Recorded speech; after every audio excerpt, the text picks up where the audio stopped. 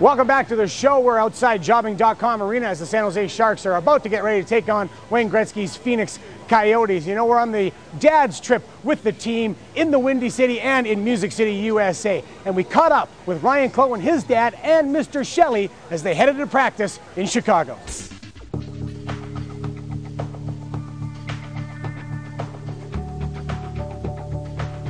How many fathers? Yeah. I think there's 18 fathers, two brothers. You do any warm ups or anything? Or We used to have Stretches team or stretch, but that's usually when the, the trainer's here. Yeah, unless the trainer. I thought Joe had a long stick. He's got a long reach.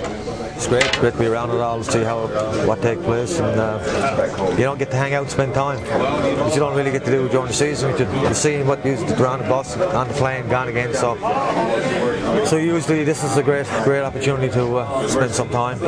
after games and you guys want to take pictures. Yeah, You have to get it can take his eye left, right? yeah, yeah. I think I paid for them.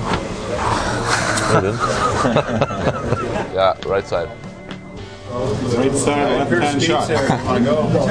Coming out of left like Messier. I think it's uh, you know it's just a proud proud thing as a dad to see that those guys are uh, so friendly together or they uh, socialize so much together. It's great to see him so excited. Uh, you know, even getting on the plane, uh, being around the guys. You know, he, he's a big fan of uh, of me and of the team, and uh, you know, he's just excited and, and all the little things that sometimes we take for granted.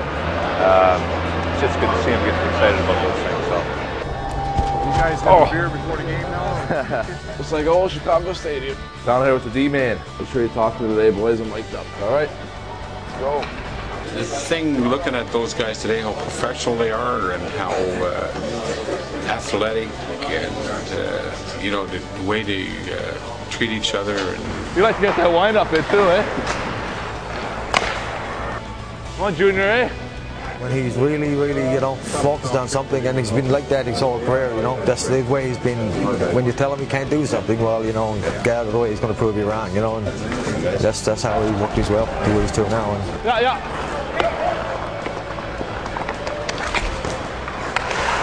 I mean, he did everything for me. I mean, I wouldn't be here without without my dad. I think everyone can say that. It's, uh, you know, he, he coached me, he advised me, he uh, drove me. I mean, they, they made a lot of sacrifices, my parents, uh, to uh, to get me in a position that uh, I had to be in, and, and uh, so they did everything that, that had to be done.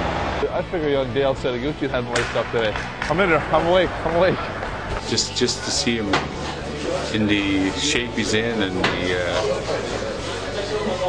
you know they're all uh, they're all such uh, gentleman type of guys. Oh, nice, Boosh. What a great ice surface, though, eh? Perfect for us. You learn from your dad. I mean, he works hard. He, he doesn't uh, he doesn't give up on things. So why would I? Ryane Clowe cut short our mic'd up segment when the microphone went flying off him in practice, and then Brad Lukowich cut it off altogether when he skated over the mic wire, thus ending any sound we could get for you. The things we go through to get behind the scenes on Shark Bytes.